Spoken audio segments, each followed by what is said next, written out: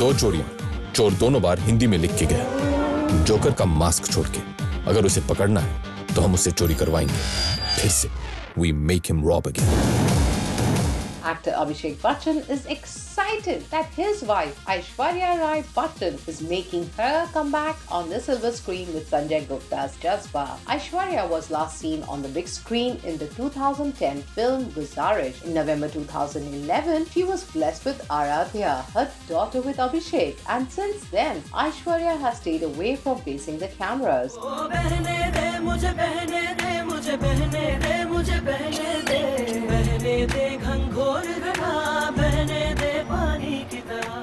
Now her husband is upbeat about her career comeback. He said that he is very excited to see Aishwarya in Jazbaa. He feels it should be a lot of fun as it's a great script. He loves Sanjay Gupta as a director and he thinks they will make a fantastic team. He always finds it wonderful to see her on screen. We think what Abhishek said is absolutely adorable and we too can't wait to see Aishwarya on the big screen either. Jazbaa is an action thriller and it also stars Irfan Khan and Shabana Azmi in key roles.